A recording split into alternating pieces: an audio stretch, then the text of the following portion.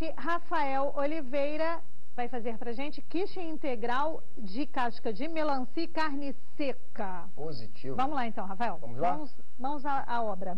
Vamos começar primeiramente metendo a mão na massa. Tá. Ok? Temos aqui uma xícara de chá de farinha de trigo e uma xícara de chá de farinha integral. Já estão Tá. juntas. Vou colocar elas para poder fazer o preparo da minha massa. Depois adiciono um ovo inteiro.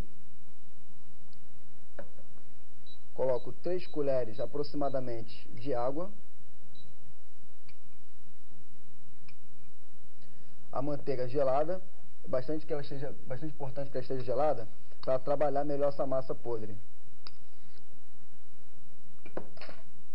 Agora. Isso aí. E uma pitadinha de sal e pimenta. Tô te ajudando aqui, tá? Eliminando os... Obrigado. E agora, vou misturando a massa até que ela fique no ponto dela. Processo bem rápido, bem simples, não tem nenhuma dificuldade. Enquanto você tá aí com a mão na massa, fala do trabalho que você faz lá no Instituto Maçã. É, o Instituto Mazan é um programa que nós temos que trabalhamos principalmente com as pessoas de comunidade pacificada, Uhum. é, com o intuito de é, trazer essa importância do, do consumo consciente também. Nós, tra- nós temos um trabalho que nós- não só na parte culinária, mas também no- na questão socioambiental. Fazemos palestras de teatro, fazemos palestras de, na parte de agricultura. Também temos a nossa bióloga Daniele. Que já já vai estar falando um pouquinho mais. É, nós já capacitamos 3 mil pessoas e nós temos a pretensão de capacitar mais, daqui a cinco anos, capacitar, é, é, impactar mais 3 mil. Gostei da palavra impactar. O contato do chefe Rafael está aí no vídeo e do Instituto Mazan Mazan. também. Ok? Para você poder estar conferindo tudo isso. Bom, aqui já foi a massa, Isso. já está quase ok. Já está quase pronta. Tá. Ela fica um pouco meio farofenta, é o Tá. objetivo dela. E nós vamos deixar ela descansando, Tá. enquanto nós vamos fazer agora o recheio, que é muito rápido. Olha só aqui o super Bruno dando uns takes para você dos ingredientes do chefe Rafael. Bom, Agora, vamos fazer o nosso recheio. tá. Recheio muito simples. Vamos começar com óleo de coco. Temos duas colheres de sopa de óleo de coco. Vamos deixar ele derreter rapidinho.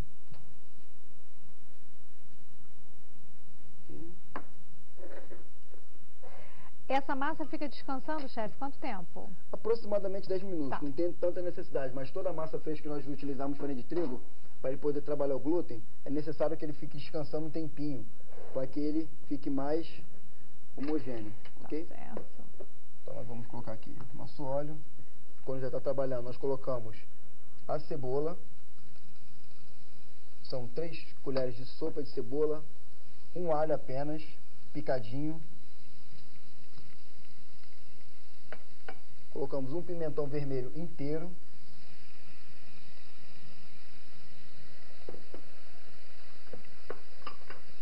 Temos a nossa o talo da cebolinha, que muitas donas de casa costumam jogar fora, nós utilizamos ela porque ela é, o talo é sempre mais, é mais importante porque o talo é onde se encontra mais o sabor. Eu vou chamar minha amiga Jossana Glessa pra cá comigo, que ela adora cozinha, que eu sei. Tá faltando um dia aqui a gente fazer mais, né?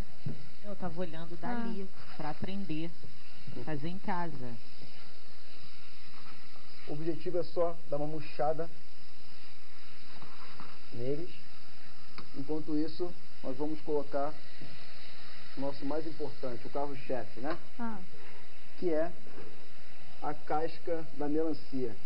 Muitas pessoas costumam jogar fora, né? depois de fazer aquele suco, usar ela como sobremesa. Gente, hoje nada disso. nada disso. Vamos ter um consumo consciente hoje na parte de alimentação. Legal. Porque a casca da melancia, ela é muito nutritiva, muito nutritiva. Você triturou ela e agora Não, eu vai. ralei. Ralou. Raladinha, Ralou. raladinha. Agora vai colocar ela aqui. Vamos colocando ela aqui. Tem uma pergunta. Pode falar. É, você colocou todos os primeiros ingredientes. Eu, eu espero é, em casa ou eu tenho que fazer como você. Não, é bom você aí, colocar esses pra primeiros ingredientes para dar uma refogada. Por quê? esses produtos que eu estou colocando agora, como o melão e a cenoura, eles soltam um pouquinho de água. Então é bom e importante que eu deixe a panela bem aquecida e refogue para poder antecipar o trabalho. Ah, Estou deixando ele antecipar, refogando e vou deixar o- com o objetivo agora de fazer ele secar. Entendeu? Entendi. Refogando, deixando ele secar. Já temos aqui a nossa carne seca, já foi cozida, já foi dessalgada, já foi picadinha, e é só ela entrar no preparo do nosso recheio. Estou esquentando um pouquinho, já como ela já está pronta, só esperar esquentar um pouquinho. ok? Muito rápido, vocês verem como é que é uma coisa prática, extremamente nutritiva. Temos aqui a nossa carne seca, acrescentamos ela. Agora Gente. ficou bom.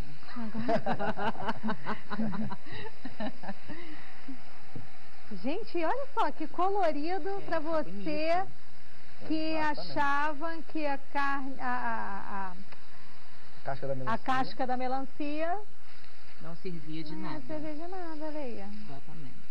E o bom é que ele ajuda não só na questão aqui. da, da parte nutritiva, mas também, como vocês podem observar, ele aumenta a quantidade do recheio. Exatamente. Isso pode trazer o quê? Ele não vai alterar o sabor, ele vai deixar um sabor mais gostoso, nutritivo e vai aumentar a quantidade. Aquela pessoa que também quiser fazer, abrir um próprio- Agora, eu, eu diria o seguinte, chefe, eu não falaria nada para ninguém. é, fazer surpresa, né? Nada de falar que é de casca de melancia, para não ficar com aquela coisa do preconceito e Com tal. certeza, com toda certeza. Não falaria nada. Serviria, aí todo mundo nhame, nhame, nhame, nhame, Nossa, que nhame, que delícia. delícia. E quando todo mundo tivesse com a barriguinha bem cheinha, aí sim eu diria. Com certeza. E Gostava da casca de melancia? Uh! Vai ver o impacto no- no- no- já no olhar das pessoas quando vai falar, ah, sério que tem isso? Porque ninguém É, aí percebe. vai, aí vai pensar que a gente tá de brincadeira, Exatamente, né? é, porque ninguém percebe. O legal é que quando a a- o Instituto Mazan, quando a gente faz é, é, oficinas em, em algumas comunidades, em alguns eventos, nós mostramos isso para as pessoas e elas ficam impactadas com toda Que essa legal, informação que elas legal, começam legal, legal. que elas começam a absorver. E elas não levam muito a crença disso. Até mesmo no curso que nós temos ali no centro da cidade, no CCM, Centro de Capacitação, é, fica ali no prédio do Metro Rio, ali na, na ONG Entre Amigas. Nós temos, é, é, é, temos alunos, ex-alunos comentando, caramba, engraçado, eu fazia minha massa de. Eu fazia meu recheio da minha coxinha. Agora eu co- costumo fazer com casca de batata também, acrescentar casca de batata e dar um efeito diferente Legal, na legal. minha massa, é. Agora, chefe, aqui já tá quase ok. Você não quer ir adiantando ali a, a, a Agora massa? você vê como eu vou Ah, finalizar. fala. Pode ligar, já está Pode? pronto. Pode. Gente, Vou colocar aqui os laticínios, creme de leite fresco, light. Light. Lá é muito Que- importante que dizer essa palavra. Que se diga de massagem. Queijo cottage, Uhum. que é bastante rico em proteína. Temos o parmesão. A gente precisa daquele toquezinho, aquele saborzinho Isso. interessante, né? De queijo. Dois ovos. E daí eu vou mexer. Não vou precisar. Ah, vai precisar? Desculpa. Vou mexer ele rapidinho. Para você que está fazendo aniversário hoje, está curtindo com a gente, felicidades. O texto tá no vídeo para você. Ele me tirou de um poço de destruição e de um atoleiro de lama, pôs os meus pés sobre uma rocha e firmou-me no local seguro. É o Salmo 40, o versículo 2, felicidades. Chefe, e agora? Agora é o grande finale, ok? Vamos pegar todo esse recheio. É bom, é legal se nós esperássemos ele esfriar, mas não tem problema manter ele quente. Porque assim, chama o fui aqui, finalizar ele. Já tenho toda a base da minha quiche, certo? Creme de leite, ovo e um pouquinho de parmesão. Essa é a base importante da quiche. Gente, Fica linda. não é? Tá vendo como é que ela fica um pouquinho cremosa? Uau. Nós vemos a cor, como é que ela fica viva, né? Ui. Uhum. agora. Tudo de bom. Deixar ela descansando aqui E vai e vamos finalizar a nossa massinha. Numa, numa forma Temos uma fundo forma falso. Fundo aham. falso, ela tem, contém 7 centímetros de espessura. E agora, o importante da quiche não é a massa, e sim sempre o recheio. Então a massa é bom que a gente trabalhe ela sempre bem fininha, bem fininha. Ela só serve como uma base, ok? Também ela para ajudar a não pesar, porque a farinha, a- mesmo tanto da farinha integral, ela também pesa um pouquinho a nossa massa, ok? Então nós vamos aqui abrir ela rapidinho. Ok. Não esquecendo que os contatos dos nossos convidados você está acompanhando aí durante a entrevista, a cocção aqui do, da nossa quiche. A Daniele tem algo a dizer, né, Daniele? Você também é do Instituto Mazan. Mazana, é isso? Isso.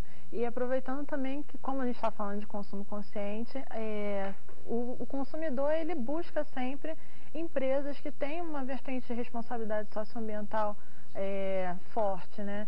E falando agora do Instituto Mazan, ele foi criado justamente para consolidar essa, essa área de socioambiental que na Amazônia é muito forte e ele foi criado agora há pouco tempo e está desde 2009 atendendo é, comunidades de unidades de polícia pacificadora aqui no Rio de Janeiro. E nisso a gente consegue abranger muita gente e eles conseguem é, abarcar nessa área de socioambiental, muitos programas social de cultura e lazer, muitos programas nutricionais, meio ambiente também. O legal é que você está ouvindo essa conversa toda e está vendo aí os contatos do Instituto Mazana, é isso? Exatamente. Ó, o chefe já preparou todas as nossas... Quiches. A base da quiche Exatamente. aqui. E vamos encerrando esse bloco desse jeito. Já já a gente volta.